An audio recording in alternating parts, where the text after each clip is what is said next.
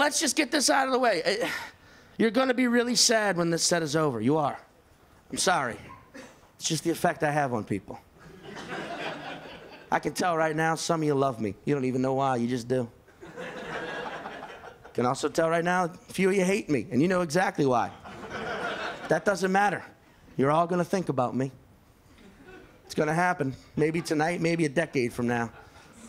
You'll be restless, unable to sleep, toss and turn. You'll take more Ambien, nothing will work. You go stare out the, out the window, take a gander at that big bright moon, and it'll hit you. I miss Sean. you stare at that big bright moon and think, I wonder if Sean's out there somewhere, staring up at this same big bright moon.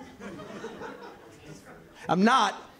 Tell you that right now, because I got sleep apnea. Gotta wear a fucking mask.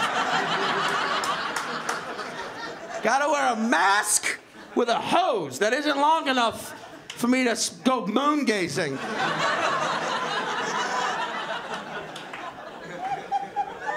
exactly. I'm a snorist. The mask prevents the snoring from happening. Right? I have to wear it. And apparently, if it comes off of my face, like, like when, I, when I wear I look like an unconscious fighter pilot. That's what I look like now. In, like, a, like a fighter pilot with fucking narcolepsy. Taking a quick nap to gun down my nightmares.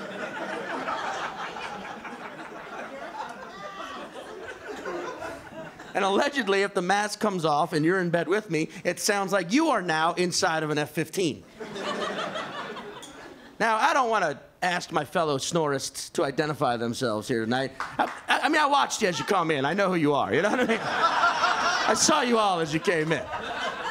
It's not you that I got a bone to pick with, it's your significant others. If you're here now, if you live with a snorist, fucking deal with it. Get, you know, buy them a CPAP or get some goddamn earplugs. You signed up for it. Because know this elbowing them awake every time they wake you up with the sound they cannot control is cruel. It's cruel. You're a monster. You're as evil as someone who would scold an autistic kid for their love of prime numbers.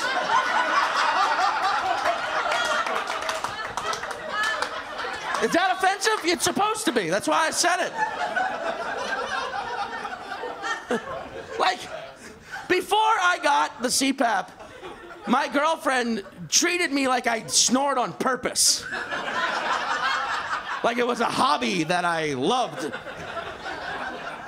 And it was just massively inconvenient for her. She would give me so much hell about it. Sometimes I would just defend it sarcastically, like, wait, do you not like this sound? So you wait, you don't like falling asleep next to the gentle sounds of a grizzly bear with a sore throat singing a Tom Waits song through blown speakers on board an Amtrak train going full speed down a rusty track through a hailstorm right as a 747 full of empty glass bottles crashes into it as it's crossing an iron bridge over a lumberjack competition. The moment they all simultaneously fired up the chainsaws, remixed by a dubstep DJ. Like this sound? But I've worked so hard on it for you.